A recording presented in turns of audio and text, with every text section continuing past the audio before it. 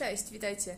Dzisiaj pokażę Wam, jak zrobić węzeł rybacki. Nazywamy go również opaską bosmańską.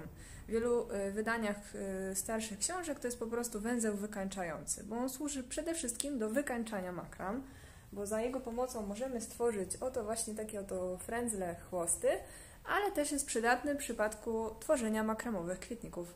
Już go pokazuję. Słuchajcie, mamy tutaj sześć sznurków skręcanych z trzech rdzeni. Akurat ilość sznurków jest całkowicie dowolna.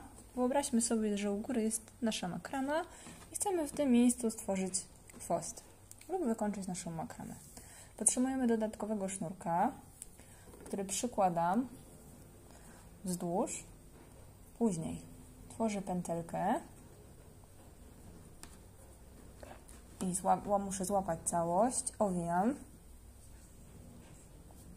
dookoła raz. Może teraz moje ręce trochę zasłaniają, ale muszę tutaj mocno to trzymać.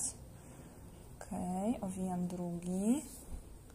Najgorzej jest zacząć. Tutaj muszę idzie gładko.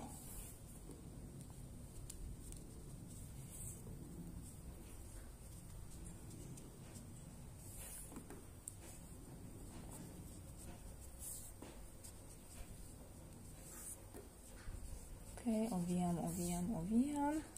Możecie robić to tak długo, jak wystarczy Wam tego dodatkowego sznurka lub też po prostu potrzebujecie takiej długości Waszej pracy. Ok. Myślę, że jeszcze zrobimy jedno owinięcie. Ok, mam to. I teraz ten luźny sznurek przekładam przez tą wcześniej utworzoną pętelkę. Tutaj łapię całość, a za sznurek, który był u góry, to był ten, ściągnę. Tutaj coś mi się zawinęło. Ok. I tak to wygląda. E, sznurek, który został nam u górze, najlepiej jest przyciąć, żeby go potem nie było widać. No i tak wyglądają nasze końcówki. E, teraz, żeby ten chwost był, był ładniejszy, to jeszcze mogę to wszystko sobie równiutko uciąć.